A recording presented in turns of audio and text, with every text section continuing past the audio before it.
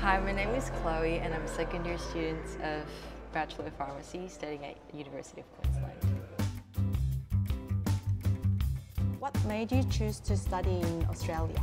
Well, I thought Australia has a great opportunity in health with medicals and science as well.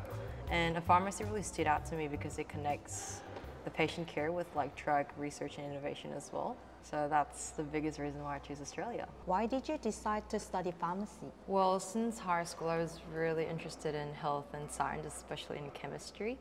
And pharmacy really stood out to me because it connects to patients and science with medical care. How is the UQ pharmacy program so far? Would you recommend it?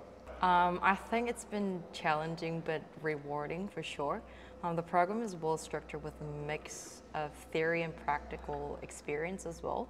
And I've learned so much, so I would definitely recommend, but only if you have interest in like chemistry and like um, health industry and healthcare. Can you rate the program from 1 to 10 and why? I'll give it an 8. It's only because um, it can be really hectic with the exams and with the assignments, but other than that, I think it's pretty much good and all the resources that you can get from the library or from the teachers as well. What made you transfer from Griffith University to UQ? Um, I thought UQ offered more research-focused environment compared to Griffith.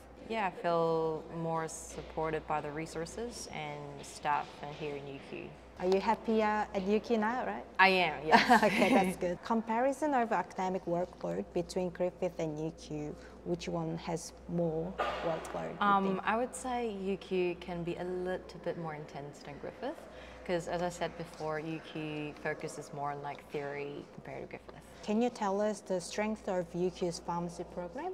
I think one of the biggest strengths of UQ Pharmacy has to be the research program. The facilities are excellent as well, and with the teaching staffs and the resources you can get is, yeah, great. Have you received any um, international student scholarship at UQ? Ah, yes, I did, and I am really happy about it, and I, yeah, I'm glad I did.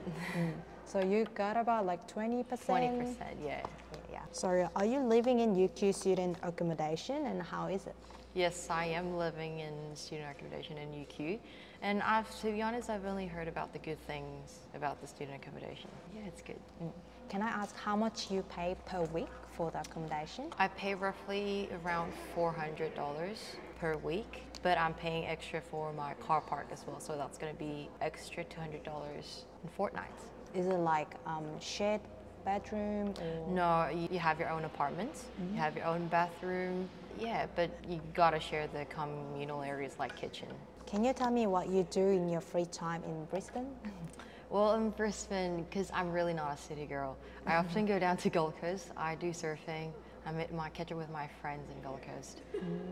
I do a lot of outdoor activities. I can tell by your skin. Yeah, it's Any challenges as an international student and how do you overcome that? Well, I guess every international student will agree, but definitely going to be cultural differences and adjusting to a new environment was the toughest part. But um, by reaching out and just really making friends helped me a lot to adjust to a new environment. Any tips for Korean students interested in studying pharmacy in Australia? Um, well, I should say don't be afraid of asking questions and reaching out for help. Just don't be shy because everyone here is to learn basically. They don't, if you don't know, they will not know as well. Do you have career plans after graduation, like internship, registration or employment? Well, I'm pursuing to become a drug researcher. I mm -hmm. hope it's going to be somewhere in CSL, maybe. I hope so. Mm -hmm. um, yeah, maybe in clinical or research pharmacy. That's my plan for now on.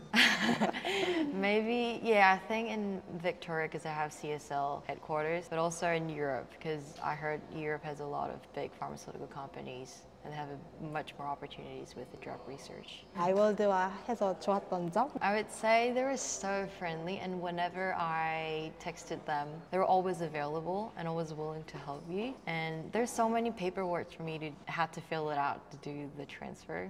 And I think I wouldn't be able to do it by myself, really, if it was not the agency. Thank you so much That's for choosing okay. us. That's Thank okay. you for the interview. Thank you.